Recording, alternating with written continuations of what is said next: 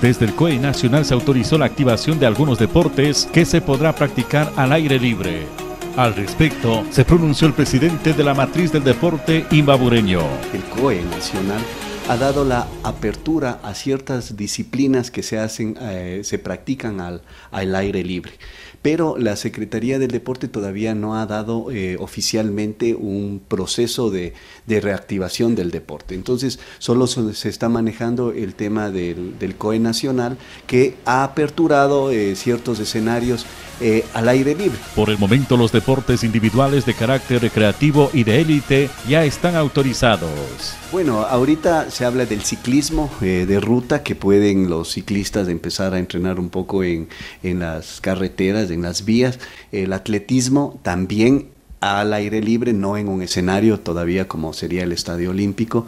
El BMX también lo han autorizado, pero también está eh, más del el ciclismo de montaña. Importante tomar en cuenta que existen condiciones para la práctica deportiva recreativa, se mencionó desde Seguridad Ciudadana. Autorizado por el COE Nacional el realizar actividades eh, privadas, es decir, personales, como yo salir en mi bicicleta con las medidas de bioseguridad, como yo salir a caminar, a trotar.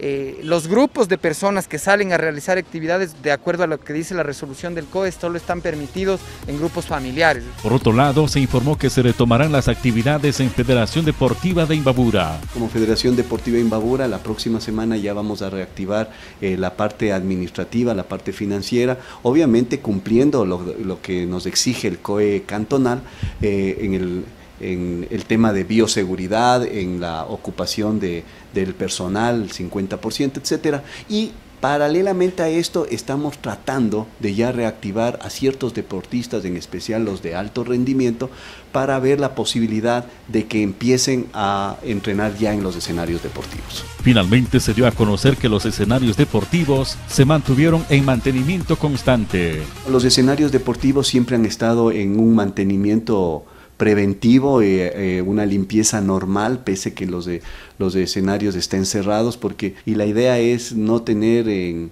la, no tener en malas condiciones nuestros escenarios, para que cuando en su momento se aperturen estén en buenas condiciones. Con imágenes de Edín Mafla, reportugo Borilla para TVN Canal.